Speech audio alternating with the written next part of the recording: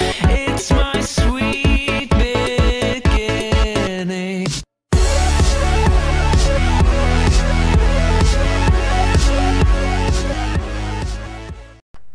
Greetings, greetings, greetings, how are you all today?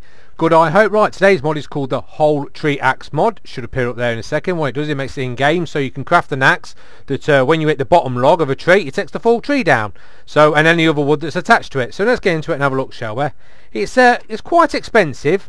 I think it's got about 59 uses, but it, it could save you quite a bit of time. Like I say, it's just a little quick, easy mod. So you need five diamonds, like that, in your crafting table, and two sticks, and that'll give you the axe here.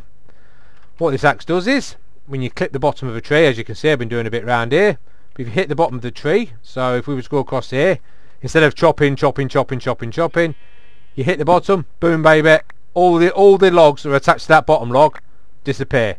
So obviously that wasn't attached because that's on its own out there, so that stayed there. But everything else, so if you were to clear a forest, it'd be quite quick. In fact, I'm not so sure if this will work, but I suppose if you was to link the trees up, so if we was to do, if we was to do something like this, because that mm, a bit, of experimenting here.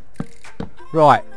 So they're all attached to that. So by rights, really, if we click this tree here, it should take down that tree. And if it did, then you could just link all the trees up in the forest. You clear a forest in no time. But let's have a look. I might look like a wally here. Oh no, no, no, it does. Whoa. That's a lot of logs. So that'd be even an easier way of clearing out a forest. I mean, how, how good would that be? Get a few logs, link that tree to that tree to that tree to that tree. Click the first one, boom, forest gob. Job done. We're not worried about the environment on this channel, but do you know what I mean? Cut the trees down. But yeah, so that's it really. Quite a, quite a simple little mod. Uh, easy to easy to install, like just chuck it in your mods folder, and away you go.